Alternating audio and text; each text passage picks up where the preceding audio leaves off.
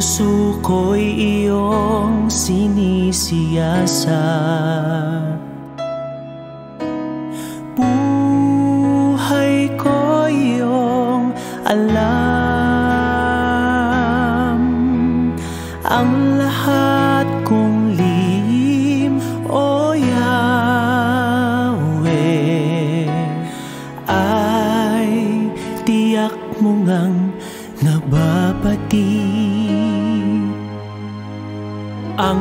lahat ng aking ginagawa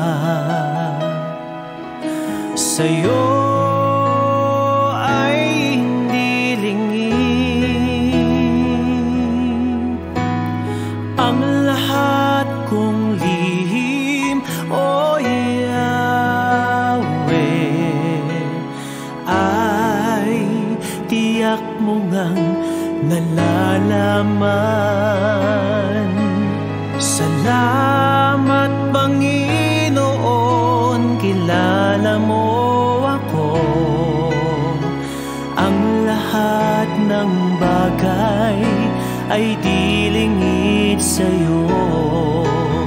Salamat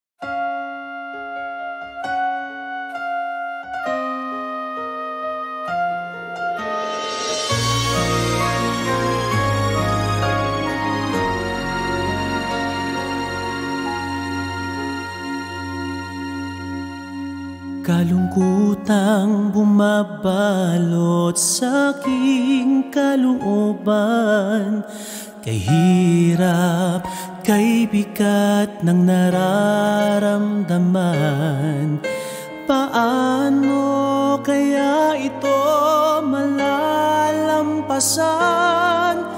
May bukas pa kayang naghihintay?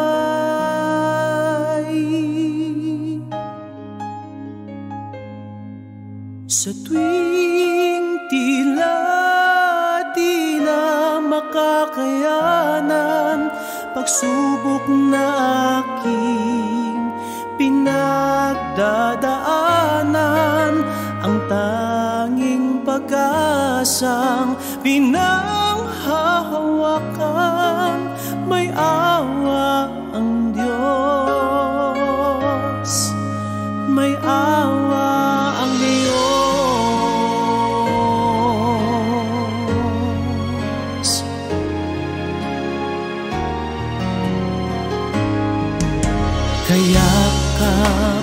bawat gabing dumadaan Pagtitiwala sa magagawa ng may kapal.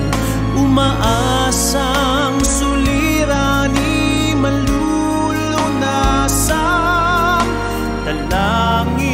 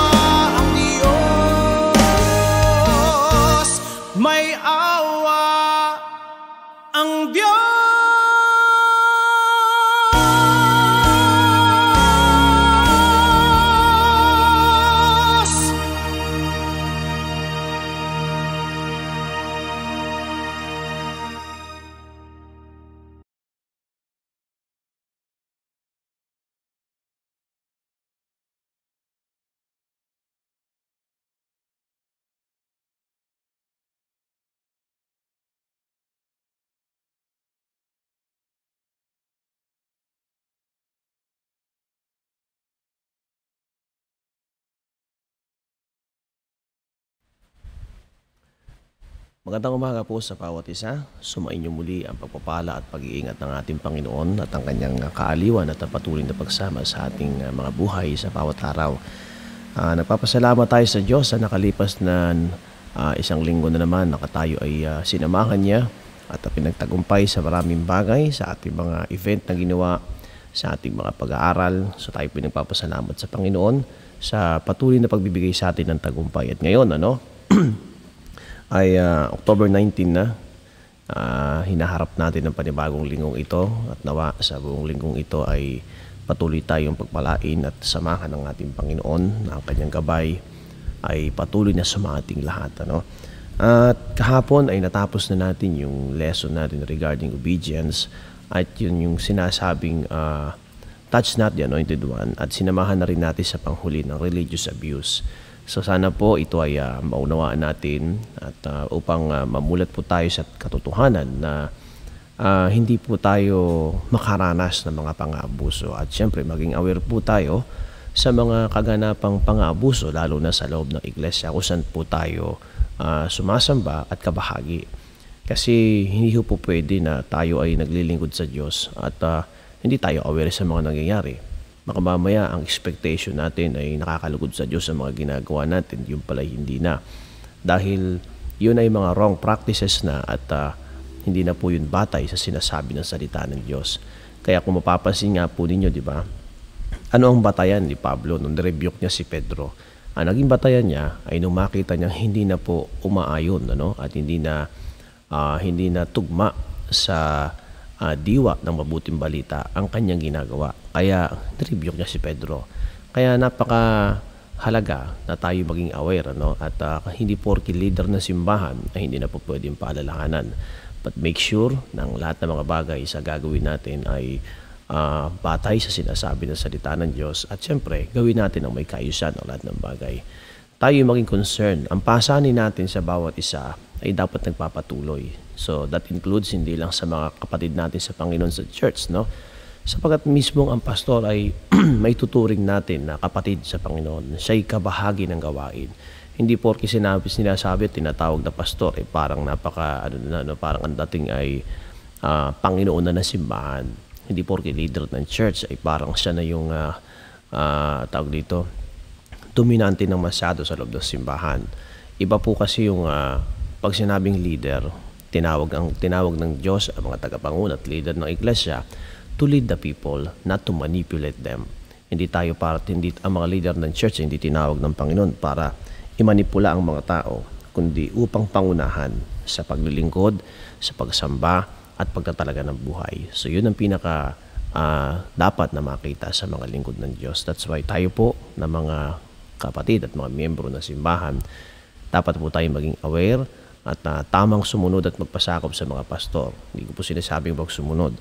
Lahat po tayo at dahil yan ay nakasulat sa Bible, dapat po tayo magpasakop at sumunod sa ating mga leader at mga pastor na itinalaga ng ating Panginoon. Napakaraming mabubuting lingkod ng Diyos at mga uh, tapat at totoong naglilingkod. Yun nga lang, may mga nahaluan talaga na uh, kumbaga sa kamatis, eh, may mga bulok talagang kamatis at nadadamay talaga yung iba. Kaya uh, mag-ingat tayo doon sa mga ganong klaseng leader, doon sa mga ganong klaseng pastor. Tinatawag kasing pastor. Kaya yun ang problema. Mga nagsipasok sa loob ng simbahan na hindi naman dapat talaga italagang pastor pero nailagay na pastor. Kaya nangyayari ay apektado at nadadamay ang mga tunay na tinawag ng Diyos. Kaya paano natin matidistinguish? Maliwanag ang mga talatang sinabi natin kahapon. Ano? Uh, nagbigay tayo ng ilang halimbawa para matuklasan natin uh, kung paano na maiintindihan natin at malalaman natin kung sino totoo at hindi. no? So binibigyan tayo ng Panginoon, sabi ng Bible ay discern every spirit, no? Di-discern natin. So paano natin di-discern? Using the guidance of the scriptures na binibigay sa atin mula sa Biblia, yun ang magiging batayan natin upang uh, maintindihan natin kung tama pa ba o hindi ang mga nangyayari at kaganapan sa ating paligid. Especially sa ating mga churches na kinabibilangan. Okay? so tayo po'y magpatuloy na sa ating pag-aaral. Bago tayo mag-start, tayo po'y manalangin sa Panginoon. Panginoon Banal, sa umagang ito, kami po'y lumalapit sa inyo at pinasasalamatan namin kayo sa lahat ng bagay na ginagawa ninyo sa buhay namin. Salamat Panginoon sa kalakasan. Salamat po sa inyong pag-iingat. Marami salamat sa mga patnubay na laging ginagawa ninyo sa amin. Sa bawat pagkakataon na kami ay dinadala ninyo sa tamang landas. Sa matuwid na pamumuhay, nagpapasalamat po kami Panginoon.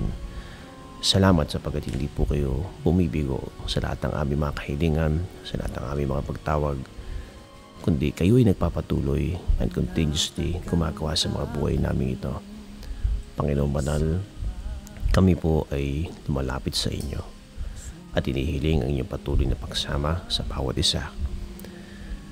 Humihingi po kami, Panginoon, ng kapatawaran sa lahat ng aming mga kasalanan, sa lahat ng aming mga pagkakamali, sa lahat ng mga bagay na nagawa namin laban sa inyo, kami po'y patawarin ninyo at linisin ang inyong banal at makapangyarihang dugo. Panginoon, sa umagang ito, ang lahat ng karumihan namin puso ay hiniling naming patawarin ninyo at pakalinisin ang inyong banal na dugo. Ano ang bahid ng karumihan sa aming isip, sa aming puso, sa pananalita at sa mga bagay na aming nagagawa. Patawarin niyo po kami, Panginoon. Lord, sa umagang ito, sa pasimula, Panginoon, ng umagang ito, nais namin itong simulan na may pagpupuri sa aming puso, na may pagsamba at pagbubulay-bulay na inyong salita. Upang sa pamamagitan nito, Panginoon, ang bawat sa amin ay patuloy na lumakas, tupibay, tumatag. Hayaan ninyong, Panginoon, sa umagang ito ay muli naming maranasan ang panibagong sigla na dulot ng pag-asa mula sa inyo ang aming mga pusong ito, Panginoon, pagliwanagin ninyo. Bigyan niyo po kami ng tunay na kapayapaan sa aming mga puso upang sa buong hapong ito, Panginoon, ang bawat sa amin ay lumakad sa patnubay at gabay ninyo na mayroong pagtatagumpay. Ang inyong banal na spirito, Panginoon, na siyang itinalaga ninyong makasama namin, ay mamalaki sa aming mga puso at pangunahan kami sa mga bagay na gagawin namin Dalhin kami sa pagtatagumpay. Ilayo niyo po kami, Panginoon, sa lahat ng mga tukso. Tulungan niyo po kami magtagumpay sa mga pagsubok. Panginoon Banal, sa aming pag-aaral nito, minsan pa ang bawat isa ay mulat sa katotohanan ng inyong mga salita. Hayaan ninyo, Panginoon, na sa pamamagitan ng inyong mga salitang ito, ang bawat sa amin ay magsitibay, tumatag, at patuloy na ma-equip, Panginoon, upang magamit namin sa pagkipagbaka sa lahat ng mga pagkakawa ng kaaway laban sa amin. Sa mga panahon ng panghihina ang inyong mga salitang ito, ang siyang aming pangahawakan, siya ang aming paniniwalaan at tatanggapin sa aming mga buhay. Muli sa umagang ito, sa pasimula ng aming pag-aaral, aming inihiling Panginoon ang pagsama ng inyong banal na Espiritu. Imulat niyo po ang aming mga kaisipan at ang aming mga damdamin sa katotohanan ng inyong mga salita. Panginoon, Patnubayan niyo po kami sa umagang ito. Minsan pa ang inyong pagsama, ang kaaliwan ng banal na spirito ang siyang bumalot sa aming mga puso. Purihin kayo dakilang Diyos. Purihin po kayo dakilang Ama. Purihin po kayo banal na spirito. Maraming maraming salamat sa inyo Panginoon. Samahan niyo po kami sa umagang ito. Ang kaaliwan ay sumaming lahat, Panginoon. Purihin kayo. Ito po aming dalangin sa pangalan ni Jesus. Amen. Kaya sa muli ay magandang umaga sa bawat isa at tayo po'y magpatuloy na sa ating pag-aaral dito. Ang ating talatang ginamit ay makikita po natin ngayon sa Acts chapter 9 verses 3 hanggang 19.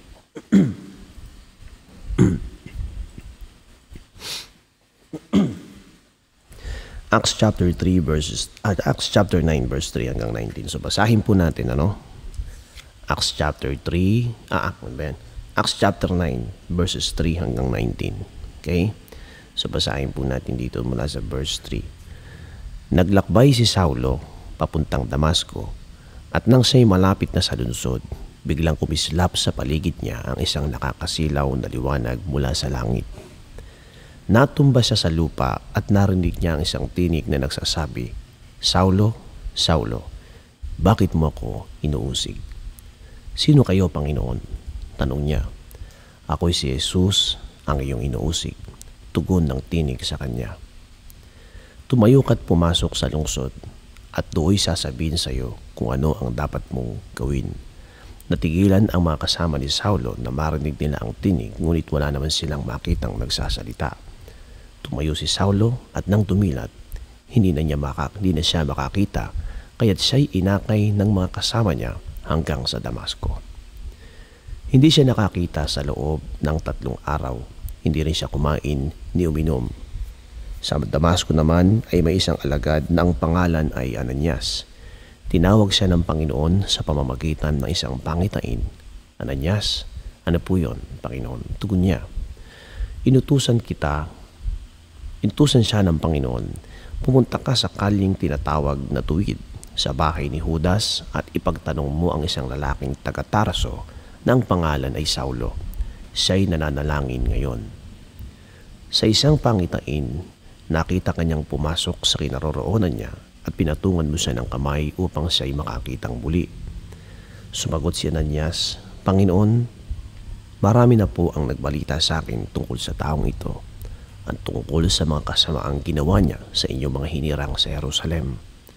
At naparito siya sa Damasco, taglay ang kapangyarihang galing sa mga punong pari ng mga Hudyo upang dakpin ang lahat ng tumatawag sa iyong pangalan Ngunit sinabi sa kanya ng Panginoon, pumunta ka roon sapagkat pinili ko siya upang ipangaral ang aking pangalan sa mga hintil, sa mga hari at sa mga anak ng Israel. Ipauunawa ko sa kanya ang lahat ng dapat niyang tiisin alang-alang sa akin. Pumunta nga si Ananias sa naturang bahay at ipinatong ang kanyang kamay kay Saulo. Sabi niya, Kapatid na Saulo, Pinapunto ako rito ng Panginoong Isus na nagpakita sa iyo sa daan nang ikaw ay papunta rito. Isinugo niya ako upang muli kang makakita at upang mapuspos ka ng Espiritu Santo. Noon din ay nalaglag na tila mga kaliskis mula sa mga mata ni Saulo at nakakita na siyang muli. Tumayo siya at nagpabautismo. Kumain siya at nagbalik ang kanyang lakas. Si Saulo ay ilang araw nakasakasama ng mga alagad sa Damasco purihin ang pagkabasa ng salita ng ating Panginoon. So dito makikita natin mula sa verse 3, no? sa verse 3 ay dito natin makikita yung uh, encounter ni Pablo sa ating Panginoong Hesus. At hindi biro yung kanyang encounter. So unahin natin ano bang nangyari kay Pablo. Si Pablo po ay inutusan, no? Galing po siya sa mga punong saserdote at siya uh, uh, si Pablo po kasi ano, o si Saulo, nung hindi pa siya nagiging Pablo, ay meron siyang masidhing pagnanais na usigin at patayin ang mga alagad ng Panginoon.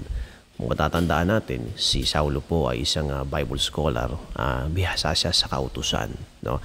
Bihasa siya sa kautusan ng uh, mga Hudyo at siya ay na-train sa pinaka mahusay na guro noong panahong iyon. Ano? At uh, si Pablo po ay sa kasitihan, sa, siyempre sapagkat siya ay scholar, ano? at uh, alam niya at biyasa siya sa mga kautusan eh, na mula sa mga Hudyo, na itinuturo sa mga Hudyo.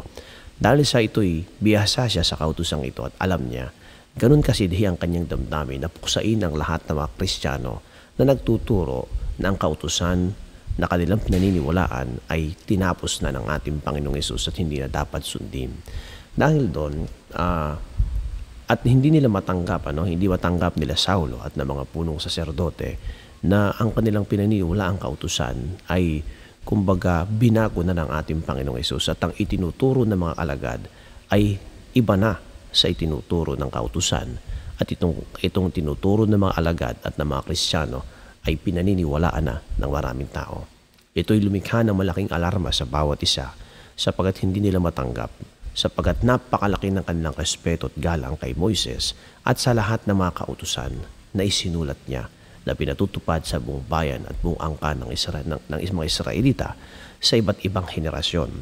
At dahil doon, uh, naging masidhi ang damdamin ni Saulo na usigin at patayin ang lahat ng mga Kristiyano.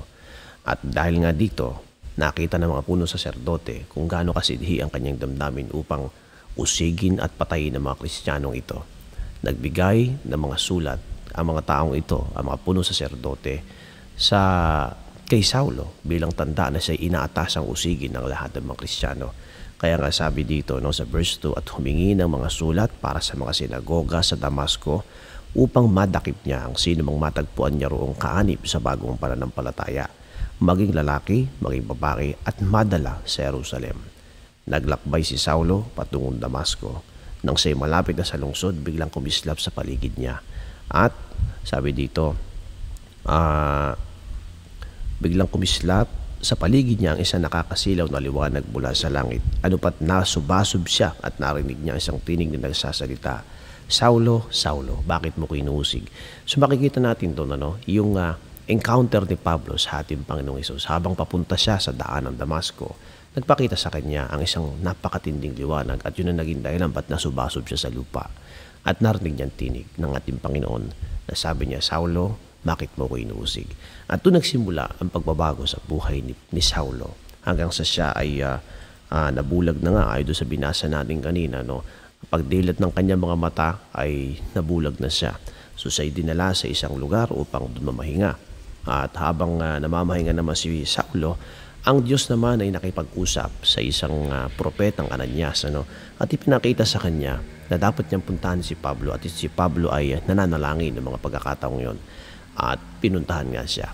So sa pagpunta nitong ni Ananias ay ipinatong ang kanyang kamay at ang nangyari kay Pablo ay gumaling. Nalaglag ang mga tila kaliskis sa kanyang mga mata at doon nagsimula ang pananampalataya ni Pablo sa bagong pananampalat sa bagong pananampalatayang tinutukoy niya na itinuturo ng mga alagad at ng mga Kristiyano. Kaya dito sa bahay, sa puntong ito, sabi dito nakatala sa mga talatang 3 hanggang 9, ang pagkaligtas ni Pablo sa labas ng lungsod ng Damasco nang kanyang pagkaligtas ay naganap dito sa halip na sa kalaunan pa sa bahay ni Judas ay malinaw Noong unang-una, sabi dito, sumusunod si Pablo sa mga utos ni Kristo. So, ano nangyari? Uh, nung si Pablo ay nakakilala, nung, nung kinatagpo siya, nung uh, na-encounter niya ang ating Panginoong Yesus, ano nangyari? Doon ay unti-unting si Pablo ay natutong sumunod sa ating Panginoong Yesus. Kasi inutusan siya ng Panginoong Yesus, di ba? Ang salita ng Panginoong Yesus narinig niya.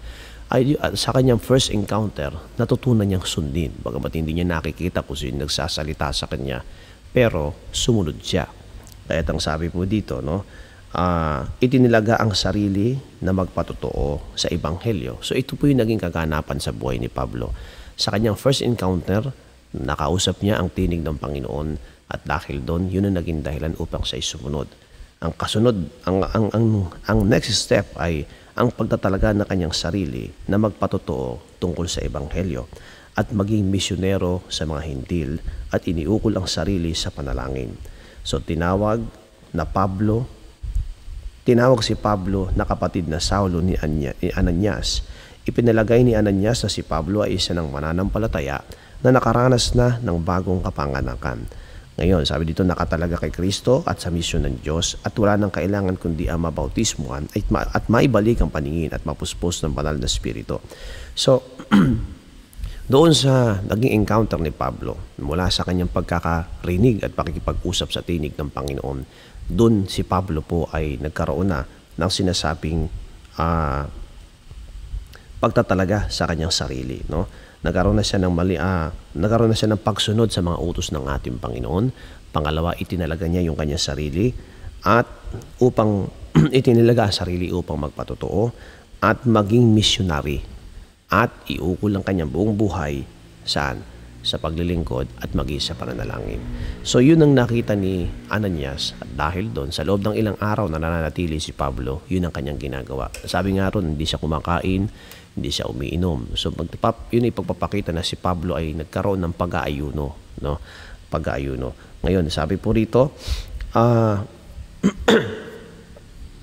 at nahil doon, makita ito ni Ananias, nakita niya yung talagang, kumbaga sa kanyang, sa puso, sa discerning ni Ananias, nakita niya na, na si Pablo ay ready na at handa na palang at bautismo na lang ang kinakailangan. Kaya nga doon sa ending ng verse 19, ano, ay makikita natin doon na si Pablo ay binautismuhan. At sa kanyang bautismong tinanggap ay muling gumaling kanyang mga mata at dahil doon ay muli siyang nakakita. Ngayon, sa verse 11, makikita natin dito, sabi dito, pumunta ka sa kalye matuwid sa bahay ni Judas at ipagtanong mo ang isang lalaking taga-Tarso ng pangalay Saulo, sabi ng Panginoon. Ah, siya'y nananalangin ngayon. So, ang kausap ng Panginoon dito ay si Ananias. At sabi niya, si Pablo ay nananalangin sa mga pagkakataong ito. So, pagkatapos makatagpo ni Pablo si Jesus at tangkapin siya bilang Panginoon at Mesyas, siya ay nag-ayuno at nanalangin na may damdaming mataimtim na, na nagtatalaga sa Diyos. So makikita natin dito, binabanggit yung salitang pag-aayuno at pananalangin. Ah, sa Bible, pag sinabing pag-aayuno, it is yung it is yung ah, ah, yun yung sinasabing abstaining from ah, material or physical food. Ito yung hindi natin pagkain. So pag sinabi pag-aayuno, well sa kanila noon pag sinabing ayuno, walang kain at inom eh. Hindi talaga kakain, hindi inom. Yun ang kanilang sistema ng pag-aayuno kung ilang araw yun ano. At ah, yun ay pagpapakita ng masidhing pagnanasa, lalo na kung meron silang hinihiling sa Diyos. Talaga nag-aayuno sila talaga na matindi. At ah, hindi sila umiinom, hindi sila kumakain na ilang araw. Pero sa atin ngayon, pag yung ah, ayuno, bisan nga yung ayuno, ano na lang eh, ah, umaga hanggang alas 3 lang, no? Pahirapan pa yon no? Pahirapan pa yun sa hindi pagkain, ano? So, pero dito sa puntong ito ay pag sinabing pag-aayuno sa, pa, sa panahon ng mga Hudyo noon ano, ay talagang complete abstaining from physical food. Walang pagkain, hindi rin umiinom. At ito yung dapat nating maunawaan. Pag sinabi po kasi yung pag-aayuno sa Bible, ang tunay na katanggap-tanggap ng pag-aayuno ay hindi lamang namang ito sinasabing abstaining from physical food. Dahil pag binasa po ninyo sa Book of Isaiah, malinaw na sinasabi doon na ang ayunong pagkatanggap-tanggap sa Diyos ay hindi lamang yung hindi pagkain, hindi lamang yung abstaining of physical food or material food, kundi sa Book of Isaiah, ang katanggap-tanggap na pag-aayuno ay ang sinasabing abstaining from sin. Nag-aayuno tayo. Ah, yun, at yun ang dapat na makita sa ating lahat, na pare-parehong makita. Ina-abstain natin ng anumang karumihan at kasalanan na makapasok sa ating mga puso at isipan. At yun ang katanggap-tanggap na pag-aayuno sa harap ng ating Panginoon, according to Book of Isaiah. Kaya nga po, at yun ang isang bagay, maaaring sa point na yun, ano, si Pablo, bagamat siya po ay nag-abstain, hindi siya kumakain ng, ah, ng physical food, ng pagkain or inumin, but sa, ah, at the same time, ay nag-aayuno na rin siya. Saan?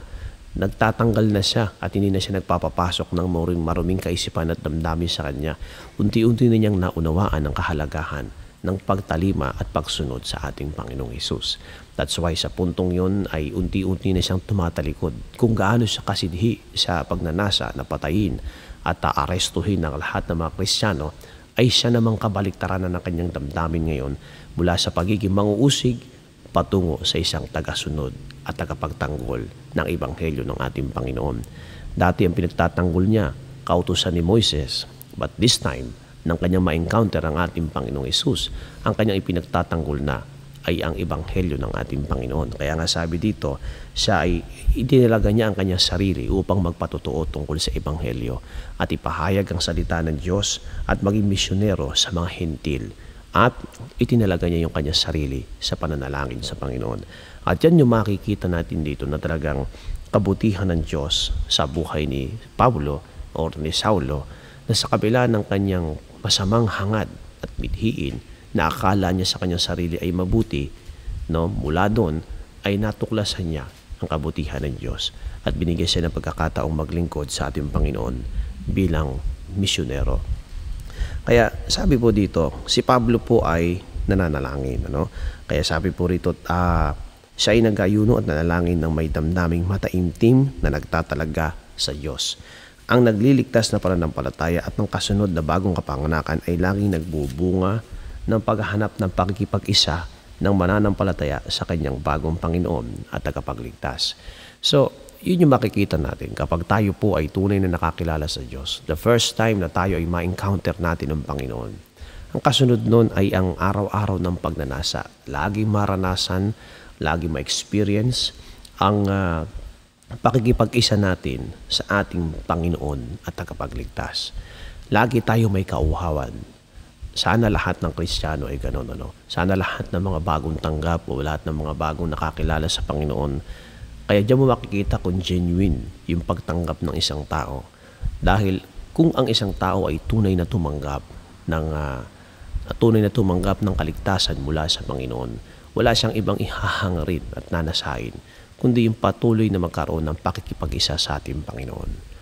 Alam po ninyo, kagaya ng gusto kagaya ng ginagawa po natin, ano, bagamat hindi humadali itong ginagawa natin, pero alam po ninyo, ito'y walang halong biro, walang halong pagkukunwari.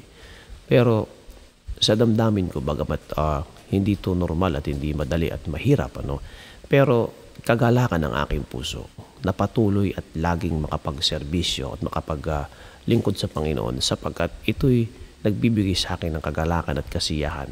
Pa napapagod ng pisikal na katawan, subalit yung kaligayahan ng puso na ibinibigay sa akin ng Panginoon sa ginagawa nating ito na araw-araw tayo nga nagsishare ng Word of God, umagat gabi, may Sabado, may Linggo pa.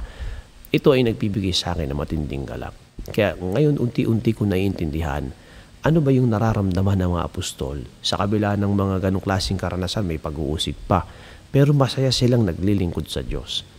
Ngayon, unti-unti nating mauunawaan, ganun pala ang bunga ng tunay na pakikipag-isa sa ating Panginoon.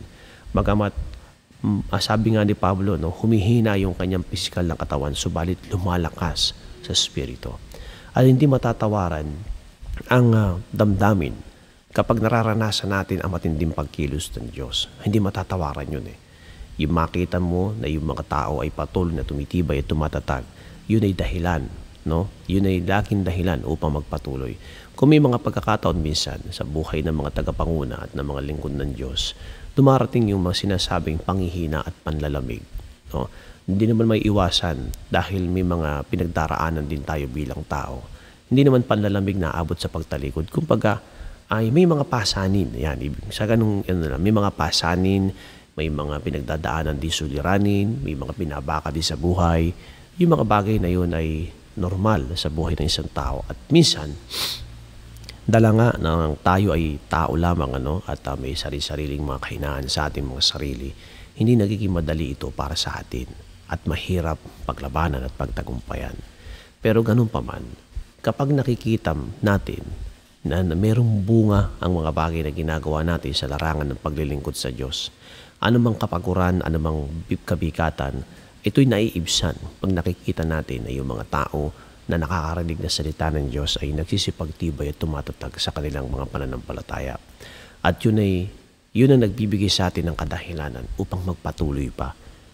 Maliban sa kapangyarihan at kalakasan na mula sa Diyos, ay sapat ng dahilan na makakita kang lum- ng mga lumalago sa pananampalataya, tumitibay sila, nagpapatuloy sa paglilingkod, sapat ang dahilan yun eh, para magpatuloy tayo sa paglilingkod sa Diyos.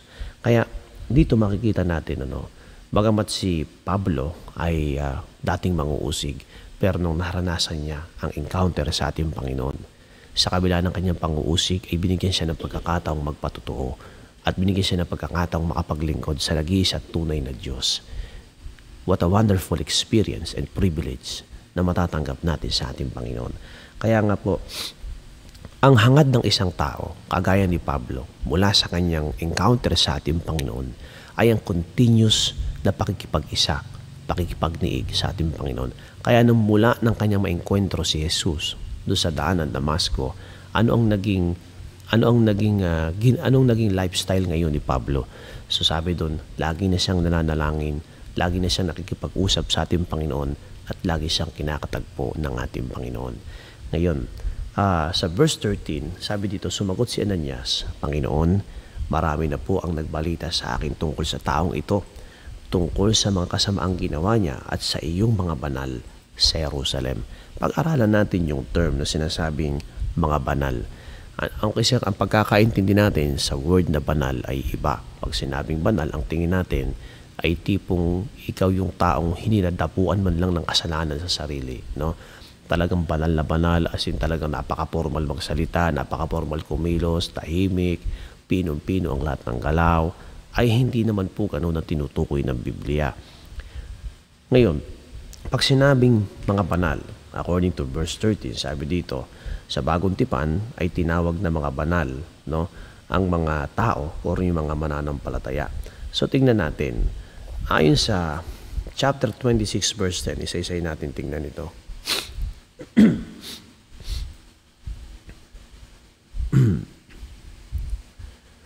Twenty-six, verse ten.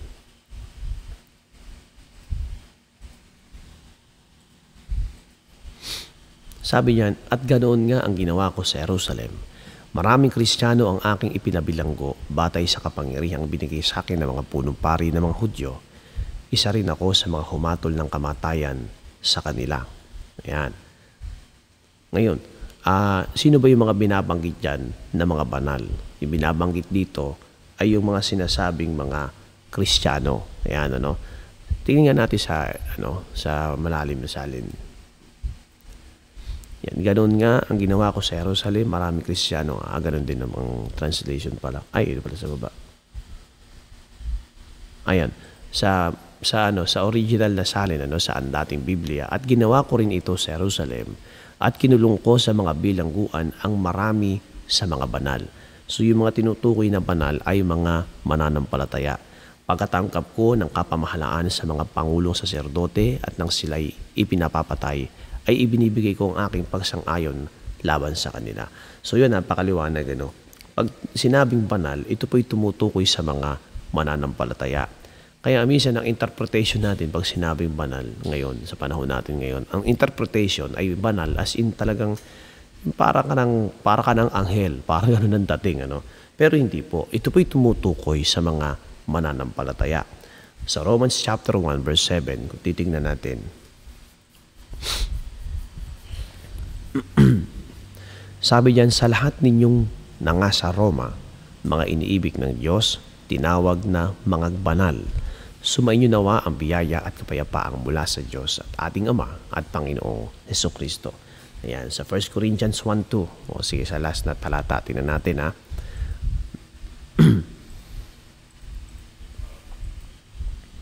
sa iglesia ng Diyos na nasa Korinto, sa makatuwid bagay sa mga pinag pinaging banal kay Kristo Jesus na tinawag na mga banal na kasama ng lahat ng mga nagsisitawag sa bawat dako sa pangalan ng ating Panginoong Iso Kristo na kanila at ating Panginoon. So ito'y tumutukoy po sa mga mananampalataya. Pag sinabi pong ipagbinanggit yung term na banal, ito po ay tumutukoy sa mga mananampalataya na mayroong lubos na pananalig at pananampalataya sa ating Panginoong Isus. Ngayon, pag sinabi po kasing banal, ang saligang kaisipan ng salitang banal ay paghiwalay mula sa kasalanan at pagtungo sa Diyos o pagtungo sa Diyos. So pag sinabing, pag binanggit yung term na kabanalan, ito po'y tumutukoy sa sinasabing uh, paghiwalay natin saan? Sa kamunduhan, sa, sa, sa makasanibutang pamumuhay natin, at paghiwalay sa kasalanan. Yun po yun. So pag tinawag na banal, ibig sabihin nun, ikaw isang tao na mayroong pananampalataya, naniniwala ka sa Panginoon, naniniwala ka sa Diyos, at inihiwalay mula sa pagkatuklas mo ng pagkakilala sa Diyos, mula sa pagkaunawa mo ng pananampalataya sa Panginoon, ang kasunod doon ay ang paghiwalay sa kasalanan. So yun ang tinatawag na banal. Mananampalataya na humihiwalay sa kasalanan.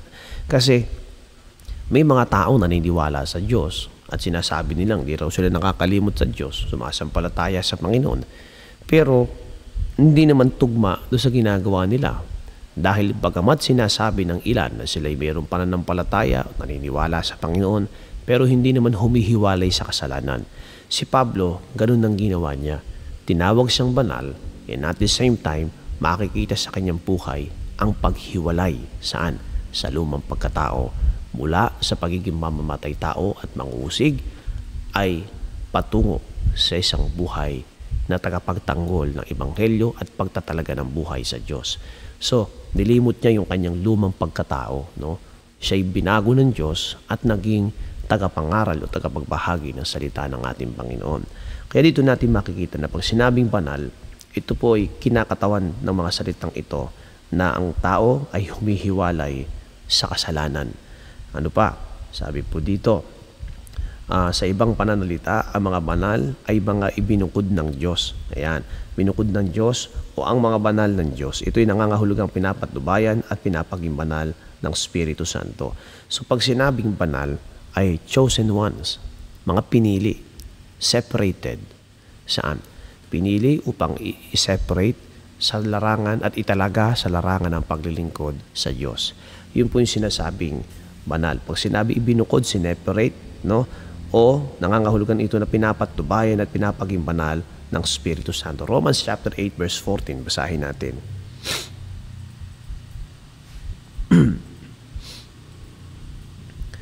Okay, sabi po dyan, sapagkat ang lahat ng mga pinapatubayan ng Espiritu ng Diyos ay sila ang mga anak ng Diyos. Ayan, ano? So makikita natin, no, ito'y isang katangian at kalagayan natin sa harap ng Diyos. Tayo ay anak ng Diyos.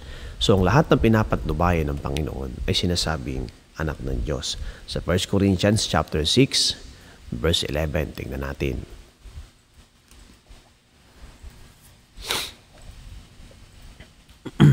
At ganyan ang mga ilan sa inyo. Ngunit nangahugasan na kayo, ngunit binanal na kayo, ngunit inaring ganap na kayo sa pangalan ng Panginoong Heso Kristo at sa Espiritu ng ating Diyos. So ibig sabihin, pag sinabing binanal, ito po ay ang pagbubukod sa atin ng ating Panginoon.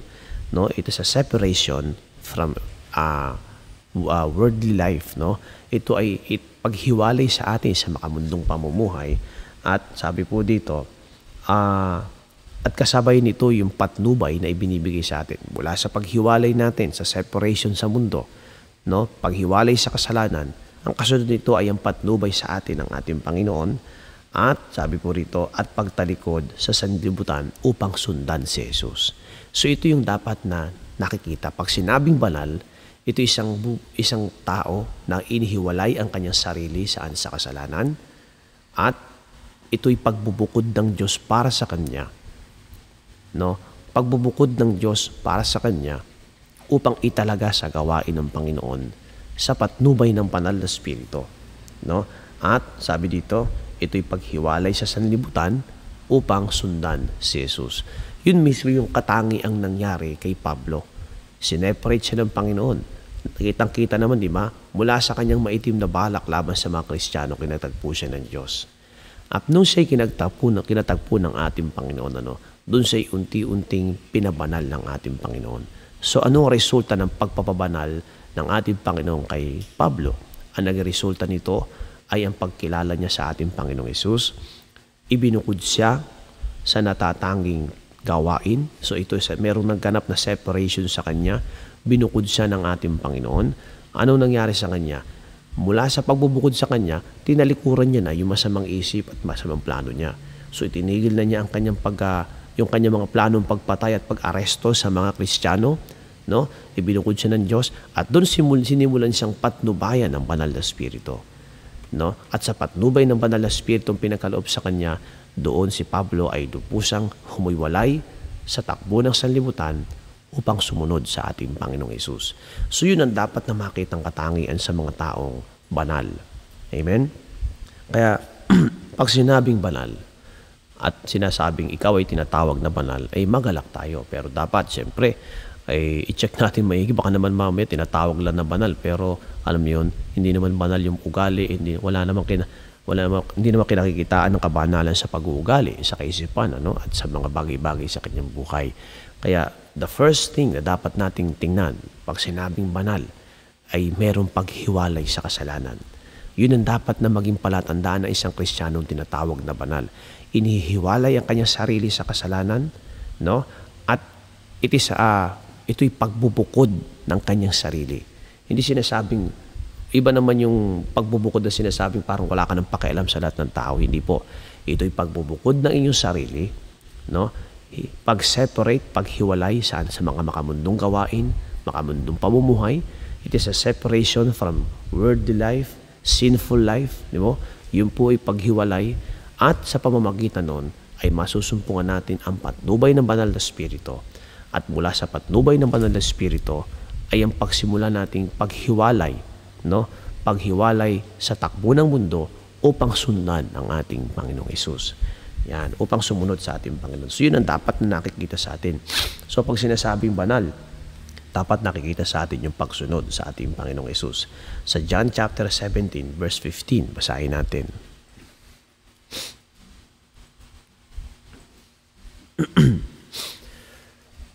John chapter ah, John chapter 17 verse 15 to 17.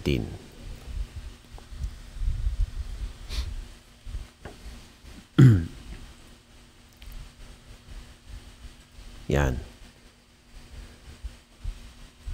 Okay, sabi diyan, hindi ko idinadalangin na alisin mo sila sa sanlibutan, kundi ingatan mo sila mula sa masama. 16. Hindi sila taga sanlibutan, nagaya ko naman na hindi taga sanlibutan. 17. Pakabanalin mo sila sa katotohanan, ang salita mo'y katotohanan. So, ibig sabihin, it is a separation saan? Sa worldly life, sa makasanlibutan klase ng pamumuhay. Yun ang ibig sabihin na sinasabing pagpapabanal.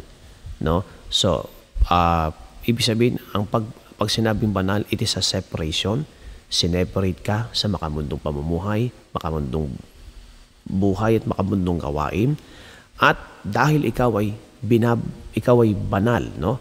Ikaw ay continuously binabanal. Pag sinabing binabanal, ikaw ay patuloy na pinapatubayan. No? Dalawa kasing ibig sabihin eh. Ah, it is a separation. Pag sinabing binanal, ikaw ay banal, hiwalay ka sa mundong pamumuhay. At ikaw ay sumusunod sa Diyos. At pag sinabing continuously pinababanal, ibig sabihin nun, patuloy kang pinapatubayan. Yun ang ibig sabihin nun. Dalawang klase, no? Binanal in a sense na ikaw ay sineparate upang mula sa mundong makamundong pamumuhay, ay ikaw ay idinala sa bagong buhay na may pakikipag-isa sa Diyos. Separation. At continuously pinababanal. In a sense na patuloy kang pinapatubayan ng banal na Espiritu. Sapagkat sa pamamagitan lamang ng patnubay ng banal na Espiritu, maihiwalay tayo sa mundo. Sapagkat ang Espiritu ng Diyos ang siyang aakay sa atin sa paglakad sa katwiran at kabanalan. Siya lang ang gagawa nun sa atin, wala nang iba. Sapagkat siya ang itinalaga ng Panginoon upang makasama natin. Kaya nga sabi, di ba, siya ang patnubay na ibinigay sa atin ng ating Diyos upang mag-lead sa atin sa mga bagay na gagawin natin, sa mag-lead sa mga daanan na tatahakin natin ang banal na Espiritu. So tayong lahat ay sineparate bilang mga banal. Separation mula sa makamundong pamumuhay, makamundong gawain, makasalanang sanlibutan. And continuously pinababanal in a sense na tayo'y pinapatubayan ng banal na Espiritu from glory to glory. Patuloy tayong binabago ng ating Panginoon. So yun ang dapat na makita sa atin bilang palatandaan ng mga taong pinabanal ng ating Panginoon. Ngayon man, sabi po rito, ang salitang banal ay hindi nangangahulugang ang mananampalataya ay wala ng kapintasan o hindi na kayang magkasala. Ito yung dapat naman din nating maintindihan. Hindi naman po porki sinabi ng isang tao ay banal na, ay hindi na po dadapuan ng kasalanan. Kaya nga po napakahalaga na lumakad tayo sa patuloy na banal na spirito dahil the moment na tayo po ay lumihis ng lakad at hindi umayon sa patnubay ng banal na spirito, there is a possibility ng tao ay mag-commit muli ng mistake. Di ba? Mag-commit uli ng pagkakasala. Alam nyo, kahit ilang beses pang ipakipagdebate ng ibang tao na pag sinabing ikaw ay banal, tumanggap na sa Panginoon, hindi na magkakasala, alam nyo hindi yan totoo. Kayo mismo alam nyo yun sa sarili ninyo. No? Maging totoo tayo. Alam natin yan. Sa araw-araw na buhay natin, sa buong maghapon, hindi po pwedeng hindi ka sasablay. Sasablay at sasablay ka. Makakagawa at makakagawa ka na isang bagay na alam mong hindi tama. Bakit? Hindi tayo perfectong tao. Di ba? Nakatira tayo sa katawang lamang ito na maraming imperfections. Mula ulo hanggang paa, marami tayong kapintasan. So, it doesn't mean na pag tinawag kang banal, ay hindi ka na maapektuhan ng kasalanan. Kaya nga, sabi ng Bible, resist the devil and he will flee, flee from you. Di ba?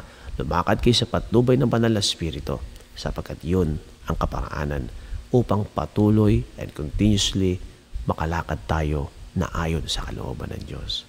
Iyon ang pinakamabuti mga kapatid. Kaya alam nyo, huwag na isipin ng iba na pag sinabing banal ay hindi na po ah, tawag dito, ay wala ng kapintasan o hindi na kayang magkasala.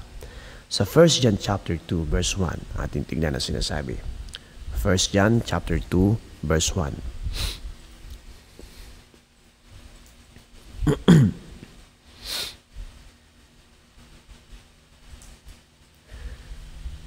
Yan, sabi diyan mga anak, isinusulat ko ito sa inyo upang huwag kayong magkasala.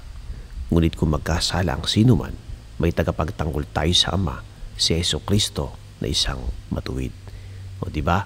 Ibig sabihin, meron tayong may, may, may chance pa rin at may pagkakataon pa rin na ang tao ay makagawa o makakumit ng mistake.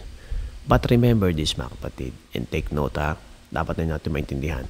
Iba po yung nagkakasala sa namumuhay sa kasalanan. Magkaibang magkaiba po yun.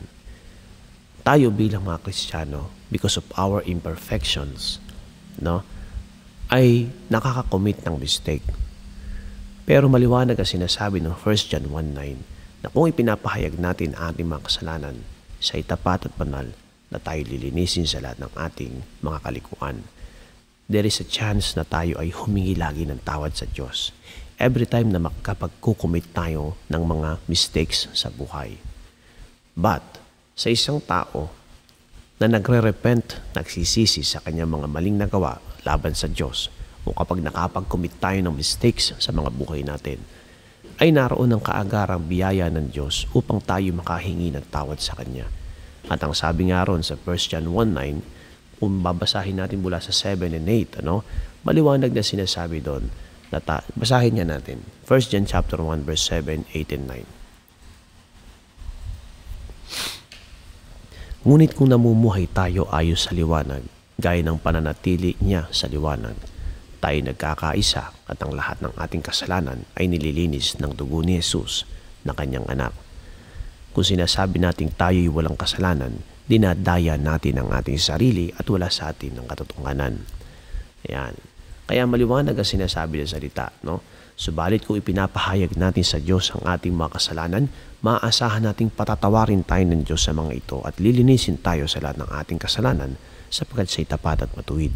Maliwanag ang sinasabi ng verse 8, ay verse 7. No? Tinan natin yung verse 7. Ha? Yan. Kung namumuhay tayo ayon sa liwanag, gaya ng paninatili niya sa atin, pananatili niya sa liwanag, tayo nagkakaisa. No? At ang lahat ng ating kasalanan ay nililinis ng dugo ni Jesus na kanyang anak. So, kapag tayo nakakapag-commit ng mistakes, no? Ah, ang unang nararamdaman ng isang tao pag nakapag-commit ng mistakes ay guilty feeling. Nagigilty tayo. So may mga taong pag nakapag, nakagawa ng kasalanan, ang tendency minsan, pag nagilty, patuloy nang lumalayo sa Diyos. Feeling niya sa sarili niya, hindi na siya karapat dapat. Well, yun ay, doon pumapasok kasi yung condemnation ng Diablo. Di ba? Ano ba yung sinasabing condemnation? Hinahatulang ka na. Hatol. Kaya every time na ang isang Kristiyano ay makakapag-commit ng mistakes, nakakaramdam tayo ng guilty feeling sapagkat ang bilis ng pang-uusig ng Diablo sa damdamin natin dahil sa nagawa nating mistake. No? Pero maliwanag ang sinasabi ng salita ng Panginoon na kapag tayo ay nakapag-commit ng mistake, meron tayong biyaya ng kapatawaran mula sa Panginoon. Binigyan tayo ng biyaya na pag lumapit ka sa Kanya at ipinahayag mo yung iyong kasalanan, ay patatawarin tayo ng Panginoon. Kaya nga sabi dito sa verse 7, ano yung pinakasikreto sa lahat? Maliban sa sinasabing paghingi ng tawad sa Diyos. Kasi may mga humihingi ng tawad sa Diyos pero hindi na nanatili sa Diyos because of their guilty feeling na nararamdaman, continuously lumayo na sa Diyos. Ang sabi sa verse 7, binabanggit dito yung salitang pananatili. Di ba? Ngunit kung namumuhay tayo ayon sa liwanag, gaya ng pananatili niya sa liwanag, tayo nagkakaisa at ang lahat ng ating kasalanan ay nililinis ng dugo ni Jesus ng kanyang anak. Ang sikreto po ay ang pananatili sa Diyos. Kaano man kalaki ang nakumit nating kasalanan or mistake sa ating buhay, hindi rason yun para lumayo ka sa Diyos. Sapagkat ang paglayo natin sa Diyos ay lalong magpapaigting ng pagkawasak at pagkasira ng ating mga buhay. Lalong magkakaroon ng dahilan ng kaaway upang wasakin ang ating mga buhay. Sa halip, Paliwanag kasi sinasabi ng mga talata. Bagaman may mga guilty feeling tayo nararamdaman, kaya nga ibinigay sa atin ng katiyakan, ng kapatawaran, ng kapag nanatili ka sa Panginoon. Bagaman gaano kalaki ang nagawa natin at nakomit natin mistake, pero kung ikaw ay mananatili sa Panginoon, hindi ka lalayo sa Kanya, ihingi ka ng tawad sa ating Panginoon. Maliwanag ang sinasabi ng talata, tayo ay nililinis ng kanyang banal na dugo. Kaya nga, ang ating Panginoong Yesus ang siyang ating tagapagtanggol. Ayon doon sa binasa natin kanina na talata sa 1 John chapter 2 verse 1. Siya ang nagtatanggol sa atin. Ayan, di ba? At kung sino man ay magkasala, ay may tagapamagitan tayo sa Ama, si Yesu Kristo ang matuwid. Di ba? Nililinis kasi tayo ng banal na dugo ni Jesus kung tayo ay mananatili sa Kanya. At siyempre, magre-repent. Ano bang nakapaloob sa salitang repentance? Ang salitang repentance ay kinapapalooban ng sinasabing una, pagsisisi, pangalawa, pagtalikod sa kasalanan, pangatlo, paghakbang upang baguhin ang nag- naging pagkakamali, and number four, never repeat the same mistake again. So yun ang ibig sabihin ng repentance, no? Dapat natin maintindihan yon. Unang-una, ah, ano pala? Una, we must accept na tayo ay nagkamali. Tanggapin mo. Aminin mo sa sarili mong nagkamali ka. Pangalawa, humingi ka ng tawad sa Diyos. No? Magsisi ka, humingi ka ng tawad sa Diyos. Pangatlo, talikuran ang naging pagkakasala. Kinakailangan natin siyang talikuran, di ba? Pang-apat ay sinasabing humakbang sa pagbabago. Baguhin ang nagawang pagkakamali. Gumawa ng hakbang upang maituwid ang pagkakamali.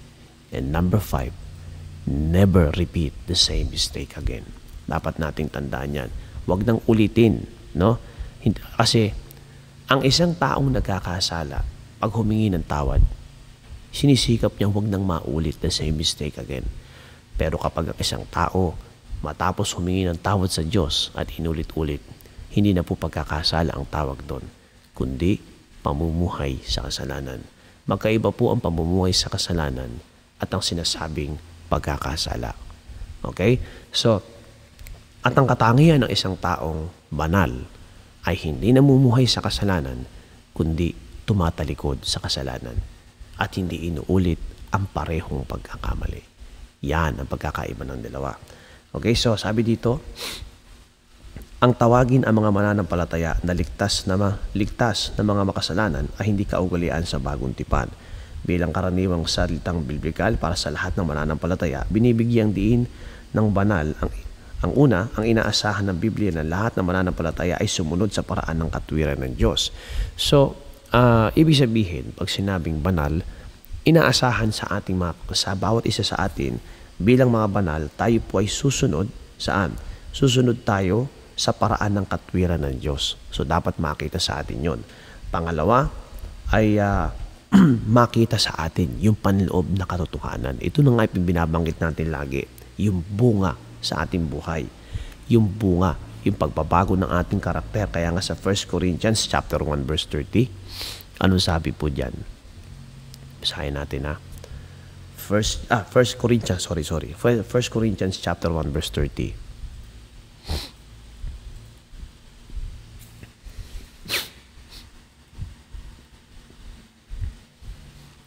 Natapwat sa Kanya, kayo'y nangasa kay Kristo Jesus na sa atin ay ginawang karunungan mula sa Diyos at katwiran at kabanalan at katubusan. O di ba? So dapat makita yung panloob ng pagbabago bilang banal. Hindi naman po pwedeng tawagin kang banal, eh yung buhay mo naman ay makalaman. Hindi yun po pwede. So dapat merong change of attitude, makita yung bunga ng banal na spirito. Alam niyo mga kapatid, pag sinabi po kasing fruit of the Holy Spirit, ito po ay nahahati sa dalawang bahagi. Ito yung dapat natin maintindihan. Akala kasi natin pag sinabing bunga ng banal na spirito, ganun-ganun lang yon Hindi po. Pag sinabing fruit of the Holy Spirit, mayroong tinatawag na inner fruit. Ano yung inner fruit? The inner fruit ay naglalaman ng pagbabagong panloob. Di ba? Nagkakaroon ka na ng kapayapaan, nagkakaroon ka ng kainahunan, ng pagpipigil sa sarili, yung bunga ng banal na spirito, nag, nagmamanifest yan sa ating buhay. So, sabi ng Bible, ang hahanapin sa atin mga kapatid ng Panginoon ay bunga. Di ba? Yan ang hinahanap sa atin, ang bunga ng ating pananampalataya. So, ano yung unang bunga na dapat makita sa atin? Ang bunga ay yung sinasabing pagbabago. Change of attitude, pagbabago ng kaisipan. Ibig sabihin, sa buong karakter natin, buong pagkatao natin, may naganap na pagbabago mula rito sa puso natin. Ngayon, ang pangalawang bahagi na sinasabing bunga, which is the outer fruit of the Holy Spirit. Ano yung outer fruit? No? Inner fruit and outer fruit. Ano yung outer fruit? Dahil ikaw ay mayroong inner fruit of the Holy Spirit, meron kang pagbabago sa iyong karakter, sa iyong kaisipan. Ito ay nagmamanifest sa panlabas mong anyo. Ayan, di ba? Ito ay nagmamanifest sa panlabas nating buhay, sa panlabas nating anyo. That is the outer fruit. Ano ang resulta ng outer fruit? Ang resulta ng outer fruit ay ang pagkakaroon mo ng pagkahikayat sa mga tao na kumilala sa Diyos. Bakit? Sapagkat nakikita yung pagbabago sa iyo. Dahil sa nakita yung pagbabago sa iyo na nagre-resulta ng inner fruit, marami kang nahihikayat na tao na lumapit din sa Diyos. Yun ang hinahanap sa atin na bunga ng ating pananampalataya. Di ba? Hindi po pwedeng hindi ka magbubunga. Kaya dapat makita sa atin ang sinasabing outer fruit na kinapapalooban ng bunga na kung saan mula sa pagbabagong ginawa ng Diyos sa buhay mo ay maitatransfer mo sa iba. Makapaghihikayat ka ng ibang kaluluwa. Kung paanong nakita nila yung pagbabago sa buhay mo ay nahihikayat silang lumapit sa Diyos dahil yung nakita nilang naganap sa buhay mo ay hindi ordinaryo. It is a extreme, radical experience of change because of the fruit of the Holy Spirit na naririto sa puso natin. So yun ang ibig sabihin ng fruit of the Holy Spirit. Ito ay may dalawang klase na makaganapan sa buhay natin. It consists of inner fruit and outer fruit of the Holy Spirit. Kaya yan ang dapat nating tandaan at dapat nating uh, panghawakan sa ating mga buhay. At nawa ito ay nakapagbigay sa atin ng uh, kaunting kaalaman ano, at pagkatuto ukol sa bagay nito patungkol kay Pablo. Mamayang gabi ay ipagpapatuloy natin ang mga huling talata mula sa verse 16 hanggang 19. Mamayang gabi po. So maraming salamat sa bawat isa. No? At nawa ay napagpala po tayo ng salita ng ating Panginoon ngayong umagang ito. Ingatan tayo ng Panginoon sa buong maghapong ito sa mga bagay na gagawin natin. At pinapaalala ko po, no, mag-submit kayo ng inyong mga prayer request sa ating Facebook page. Huwag po sa comment section dahil nawawala po. Okay? Paalala lang po ah. Huwag po sa comment section sa mismong Facebook page, no? doon kayo mag, maglagay ng mga ng mga message ninyo at ng mga prayer request ninyo sa mismong Facebook page. Huwag po rito sa comment section. Okay? So, salamat sa ating Panginoon. Uh, pasamantala po tayong uh, pasamantala tayong aalis saglit. No? Hindi, hindi ibig sabihin, babalik po tayo. No? Makalipas lamang po ang, ang ilang saglit. At tayo po'y darako na sa ating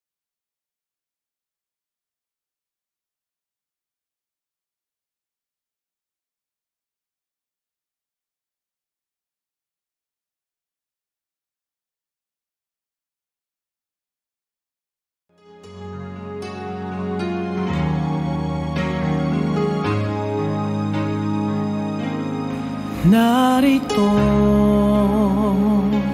ang puso ko. Manahan ka tuloy ang pagharian. Ibibigay sa'yo, Diyos, ang lahat. Ang puso ko at isip ikaw ang tanging nais. Hangad ay madama ang iyong pag-ibig. Punuan mo ang puso ko. Kauhaway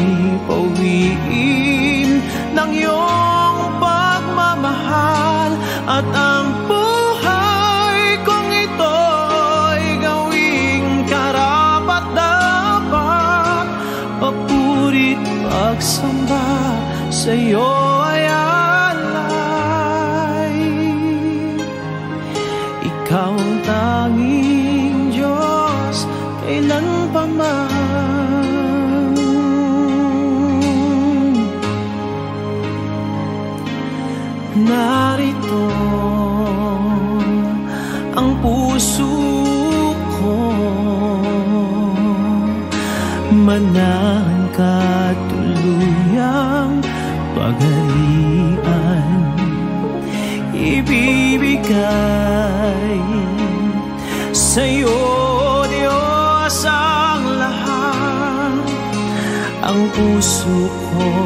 at isip Ikaw ang tanging nais.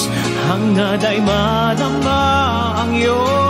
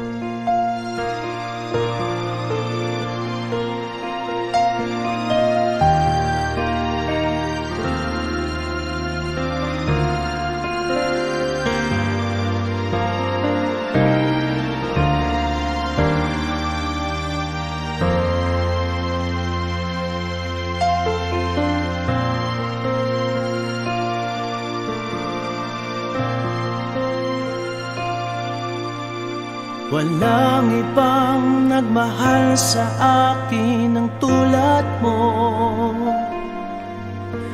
Pag-ibig mo'y wakas at di nagbabago Napatunayan mo ito sa krus ng Kalbaryo. Kaligtasan sa'yo ay natamo Dahil sa iyong tanging pagmamahal. Ako ay natubos sa kasalanan. Sasambahin kita at pupurihin ka Bilang tanda ng aking pagmamahal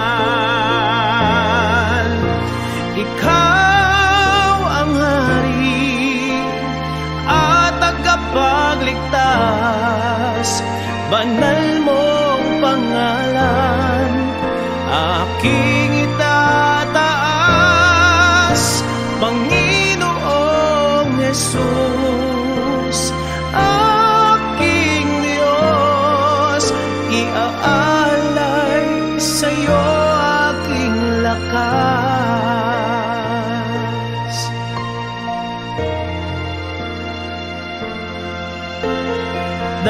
sa'yo tanging pagmamahal.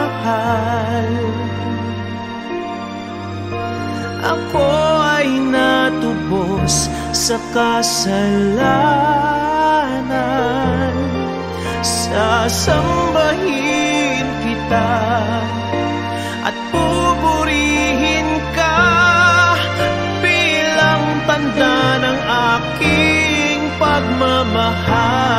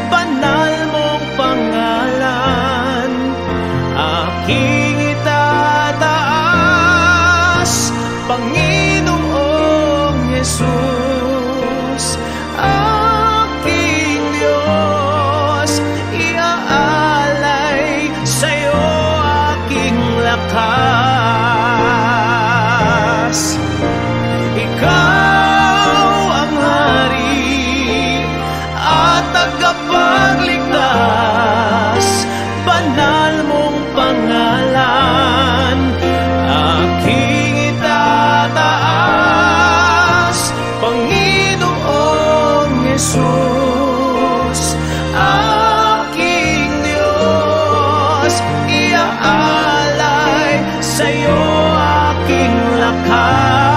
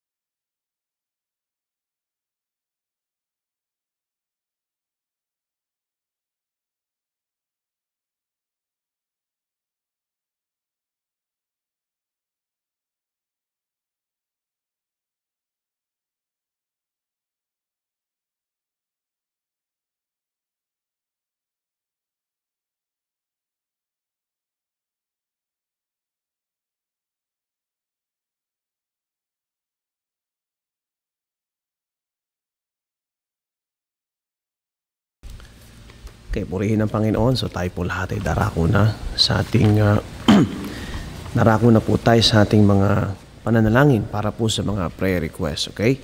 So salamat sa Diyos at uh, sama-sama tayong dumulog sa ating Panginoon.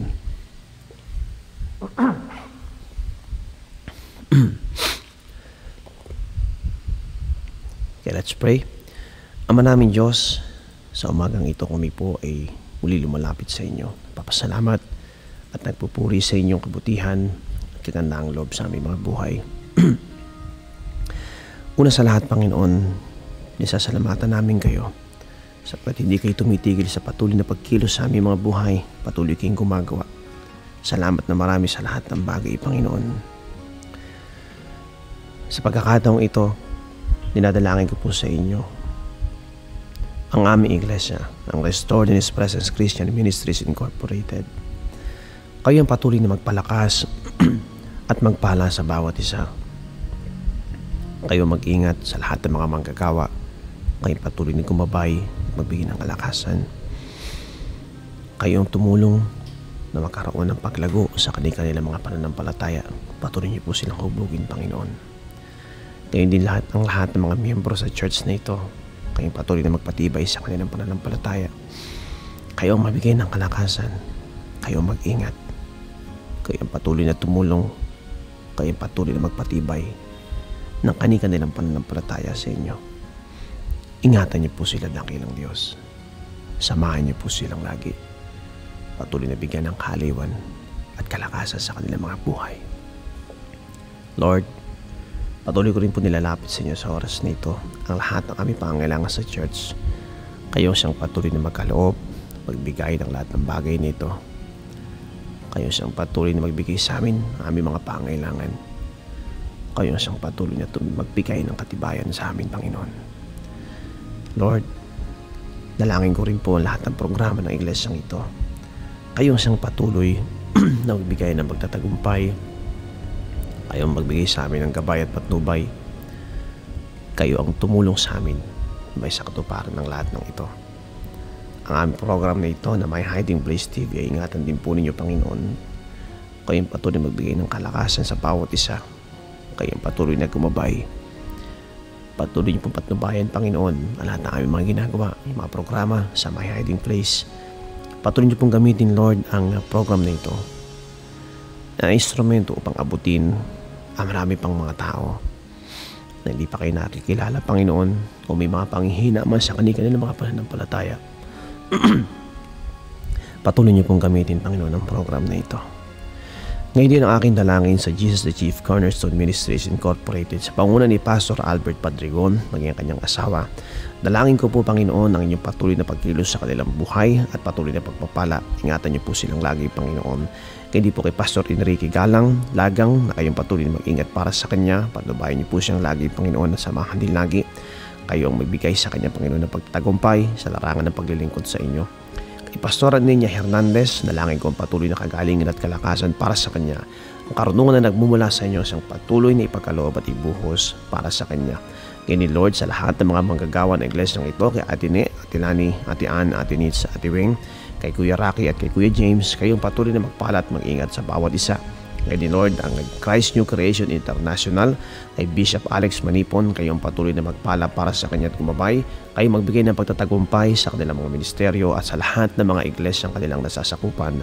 Ang lahat ng kanilang ministry ay i-bless ninyo kanyang mga mahal sa buhay pagpalain at patuloy na pagkalob ang lahat ng kanilang mga pangailangan.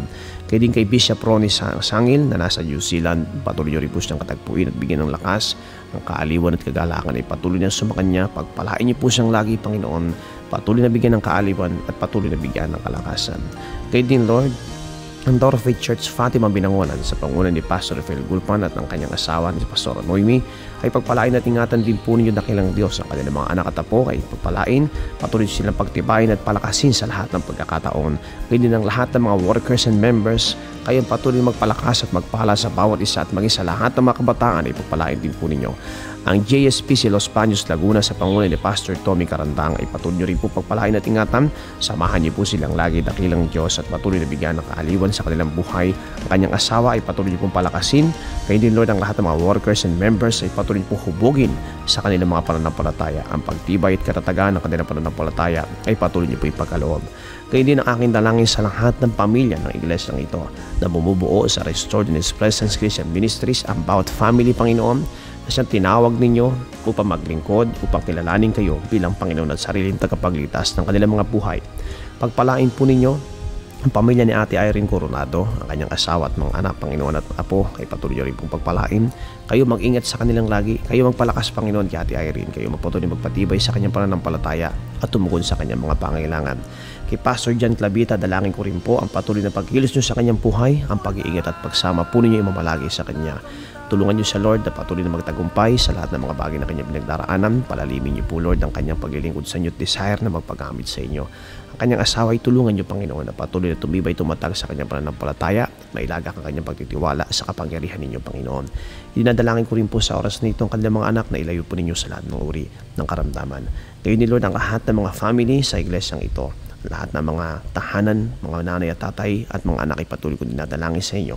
Ang pamilya ni Auntie Dolores Tumlao, Sister Medi Reyes, Mercedes Bauyon, Marife Balwis, Nanay Isay Coronado, kay Marad April, Rhea Lerios, Marian Rodriguez, Karen Almario, Bing Francia, Cheryl Badulis, Stephen Coronel, Jelbrix Valparaiso, Christy Oliva, Purificacion Lamera, Hermie Prihiliana, Wilmer Borbe, Jasmine Francia, Rosmin Francia, Rosemary Coronado, Sheila Postrado, Helen Francia, Jason Barquilang, Biana Portes, Vicky Balwis, Chique Reyes, Maricel Baldomino, Amber Opinion, Rosemary Bianar, Juliet Ortega, Teya Bagayan, Lolita Samela, Charmaine Piamonte, Ed Scapin, Maylin Balwis, Adelino De Leon, Olga Hernandez, Lema Hernandez, kay Nanay Lena at kay Marian Cayetano.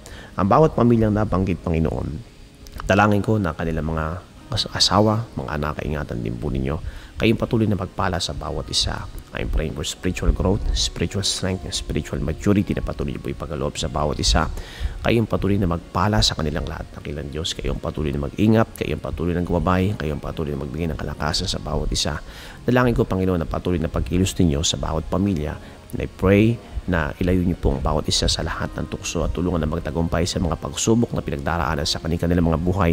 Pagpalain po ninyo Lord ang lahat ng mga negosyo at hanap buhay na kanilang ginagampanan at maging mga pag-aaral ng mga estudyante patnubayan at pagpalain din ninyo kayo magbigay ng karunungan at kalaman sa bawat isa. Kayo ang magtumulong, kayo ang mag-ingat, kayo magpala, Panginoon, sa inyong mga anak na ito. Dalangin ko, Lord, na patuloy niyo po kami pagkaisahin at puklurin ng isang spirito mula sa inyo. Patuloy kayo maging sentro ng iglesyang ito at ang pagmamahalan at pag-ibigan, pangunawa sa bawat isa na siyang patuloy na makita sa aming lahat bilang isang pamilya sa loob ng iglesyang ito. Dinadalangin ko rin po sa inyo sa pagkakataong ito na patuloy kayong gumawa at pagpalain ng iglesyang ito. Maging Lord sa nalalapit naming uh, church anniversary, kayo ang patuloy na magpala, kayo magbigay ng pagtatagumpay sa aming iglesia. Ipagkaloob po ninyo lahat ng aming mga pangailangan at kami po'y abutin ay inyong papagpalat po kapangyarihang kamay Patuloy niyong pagpalain ng church nito, Panginoon, at uh, patuloy na gamitin ang mga instrumento ng, uh, pag, ng, ng uh, paglago ng inyong mga gawain. Patuloy niyo pong gamitin sa place of revival, restoration, healing, and deliverance. Panginoon, kayo din ang dalangin ko sa lahat ng mga kapatid na may mga iba't ibang simbahan o galing sa iba't ibang iglesia, ingatan niyo po sila, Panginoon. Dalangin ko ang patuloy na pagkilos at pagpapala po ninyo sa bawat isa, ang patuloy na pag-iingat at gabay ay pagkaloob sa lahat ng inyong mga anak. Gayon din ang dalangin ko Lord kay Sister Jasil Maabo. I'm praying for complete healing sa kanyang karamdaman. Lalo tigit ang kanyang trangkaso, ubo at sipon sa oras na ito. Hipuin niyo po siya na inyong papagpalat mga pangyariang kamay at bigyan ng kagalingan at kalakasan sa kanyang buhay. Panginoon, ingatan niyo po siya, gabayan niyo po siya patuloy na palakasin at patuloy na pagpalain. Kay Sister Marites Dugan, I am praying na patuloy niyo po siyang gabayan ng kanyang nanay na si Carmen Dugan na na-paralyze. I pray na hipuin niyo po siya na inyong mapagpalat makapangyarihan kamay at ipagalob ang kagalingan sa kanyang pangatawan. Ang kanyang anak na si Shikaina, dalangin ko patuloy na pagkakalob ng katalinuhan sa batang ito. Kay Brenda Hus, dalangin ko Lord na manumbalik ang magandang relasyon ng kanyang asawa. Kay Leia Ulang, I am praying for spiritual maturity at maging sa kanyang mga magulang ay gayon din. Kay Lenny de la Peña, dalangin ko na siya manumbalik po sa inyo sa paglilingkod sa inyo. At ang asawa ni Sister Marites na si, As na si Joseph Astrorbesa, dalangin ko Lord na hipuin niyo po siya at maging, maging responsabling ama sa kanilang mga anak, sa kanilang anak. Ngayon din nadalangin ko Lord kay Ate Janet Season. I'm praying for complete healing and divine healing ay pagkalob niyo po sa kanya sa oras nito. Ingatan niyo po siya Panginoon. Gabayan niyo po siya dakilang Diyos. Pagpalain niyo po siya dakilang Diyos. Lord, hipuin niyo po at uh, patuloy na pagkalob ang kalakasan para sa kanya.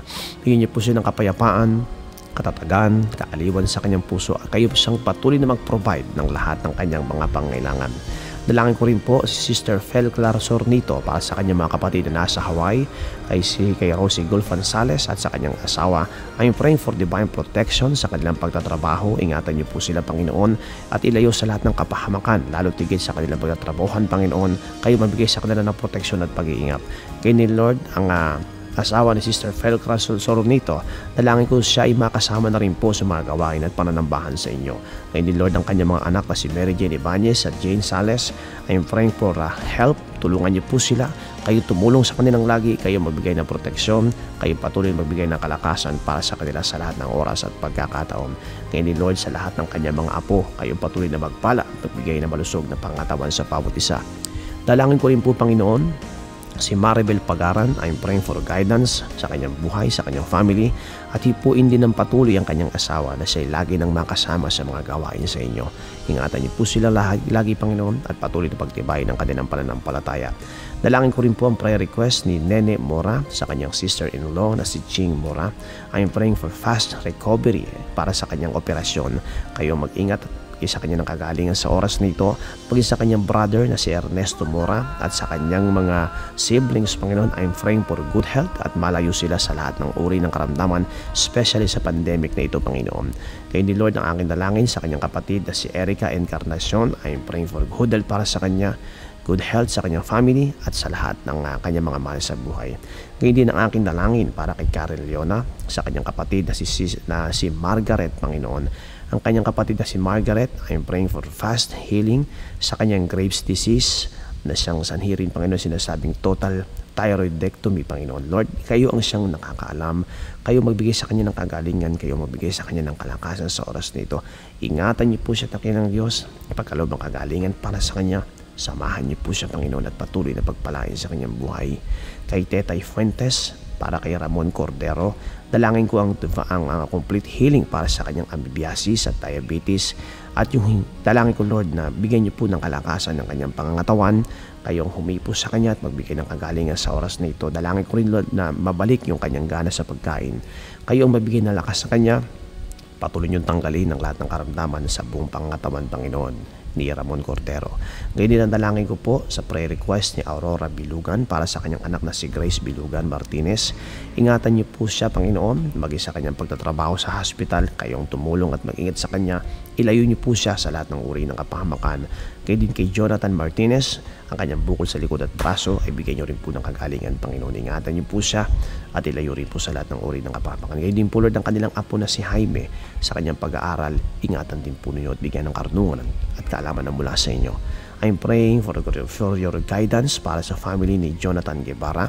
Kayo mag-ingat sa kanyang Panginoon. Pagpalain niyo po kanyang asawa at mga anak at kay ni Lord ang kanilang paglilingkod sa inyo ay patuloy niyo pong pagtibayin at bigyan ng pagtatagumpay. Ang kanilang hanap buhay, Panginoon, at ang kanilang kabuhayan, bless them mightily, Panginoon, sa kanilang mga buhay, sa kanilang mga ah, kabuhayan, kayong patuloy na magpala.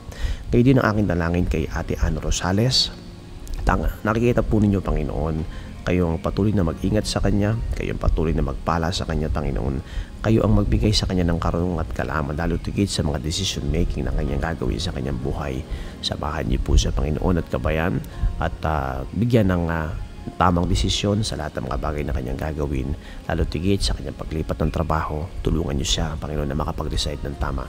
Dalhin niyo po siya sa mga tamang tao, dapat niya makausap at uh, maging smooth ang proseso ng lahat ng bagay nito kung ito man ay ayon sa inyong banal na kalooban. Pagpalain niyo rin po lahat ng kanyang mga anak at lahat ng kanyang mga mahal sa buhay, ingatan niyo po silang lagi. Kayo din ang aking talangin sa prayer request ni Sister Imelda Laksamana, ang kanyang anak, kanyang mga anak ay patuloy niyo pong pagpalain at patuloy na bigyan ng kalakasan ng bawat isa. Kay ni Lord ang lahat ng kanyang mga manugang ay ingatan at pagpalain din po ninyo. Ang kanyang mga apo ay patuloy niyo pong bigyan ng lakas at ingatan din po at sila ay lumaki may takot sa inyo. At kay ni Lord si Sister Rosemary Coronado, I am praying for complete healing para sa kanya. Ipuin niyo po siya ng inyong pagpapalat mga pangyarihang kamay at ipagkaloob ang kagalingan para sa Kanya. Ngayon din ang aking dalangin para kay Mercy Democrito. I'm praying for strength, protection sa kanyang mga anak. Kay ni Lord para sa kanyang mga magulang, sa kanilang mga trabaho, Panginoon. Ang trabaho nila Ralph, Karen, Randolph and Ninya, kayong patuloy na magbigay ng kalakasan sa bawat isa sa kanila. Ngayon po Lord si Jericho RSP, dalangin ko Lord na magkaroon siya ng matatag na hanap buhay, kayong patuloy na magpala at mag-ingat para sa kanilang lahat. Dalangin ko rin po Panginoon ang prayer request si Jennifer Sanchez para sa kanyang buong pamilya. Ang good health ay aking inihiling para sa kanila, maging sa kanyang mga magulang, maging sa kanyang mga biyanan. Dalangin ko Lord ng patuloy na pag-iingat niyo po at ang kaligtasan maging sa kanyang mga in-laws, Panginoon. Kayo mag-ingat at magpala sa kanila. I'm praying for spiritual strength, spiritual growth, and spiritual maturity sa bawat isa at ang kanyang bunsong anak, Panginoon, ay lumaki na may takot sa inyo. Ang prayer request ni Diane Dumlao, I'm praying for knowledge and the wisdom sa kanyang magiging midterms on October 26 to 30. Kayo magbigay sa kanya ng knowledge and wisdom ng karunungan at kalaman na mula sa inyo. Bigyan niyo po siya ng pagtatagumpay, Panginoon. Ngayon din ang prayer request ni Sister Lani Hinahon para sa kanyang anak na nag-birthday ngayon. Lord, kayo mag-ingat para kay Brian Hinahon, kayo magpala sa kanya, kayo mag-ingat sa kanyang buhay, kayo patuloy na magbigay ng kalakasan sa kanya.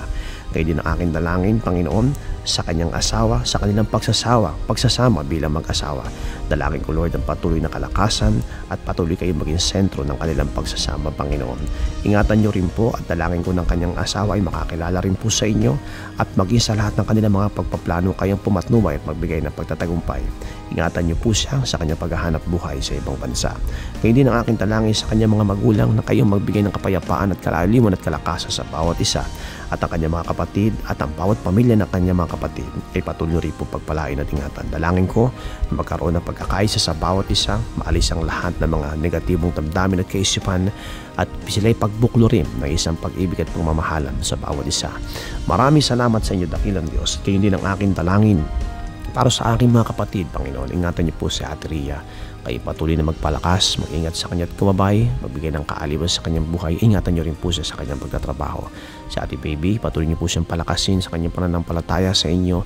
Gamitin din po siyang lagi sa ministry and I pray na patuloy kayong gumawa at kumilos sa kanyang buhay. Pagpalay din po niyong kanyang kabuhayan. Ngayon din ang aking dalangin, Panginoon, sa lahat ng aking mga pamangkin, kayong patuloy na magpalat mag-ingat sa bawat isa. Ilayin niyo po sila sa lahat ng uri ng kapahamakan at patuloy na gamitin din, Panginoon, ng bawat isa Dalangin ko Lord na sa kanilang hanap buhay at maging sa kanilang mga pag-aaral, ang pag-iingat niyo po ay mamalagi sa kanilang mga buhay. Ngayon din ang aking dalangin kay Kuya Bernard, samahan at ingatan niyo po at palakasin, tulungan na magtagumpay sa kanyang buhay at kayo din ang aking asawa, Panginoon. Kayo patuloy na magpalat, mag-ingat sa kanya at magtagumpay sa mga pagsubok. Tulungan niyo siya na malagpasan ang bawat kalungkutan at lahat ng mga bagay na ginagawa ng kahoy laban sa kanya.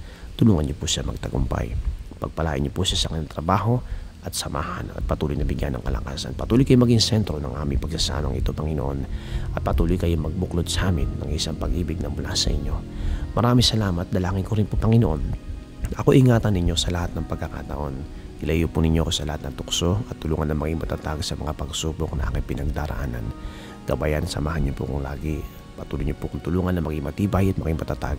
Ilayo po ninyo ako sa lahat ng mga temptations, Panginoon Tulungan niyo ako magtagumpay sa lahat ng mga bagay na pinagdaraanan, maging pag-uusig man, Panginoon, na dumarating. Tulungan niyo po ako magtagumpay. Ngayon din ang aking dalangin, Panginoon, na mawalagi sa puso't isipan ko ang banal na pagkatakot sa inyo. Tulungan niyo po ko na lumakad sa katwiran at kabanalan na nais ninyo. Panginoon, sa lahat ng bagay at pagkakataon, ang inyong layunin at ang kalooban ang siyang magtagumpay sa buhay kong ito.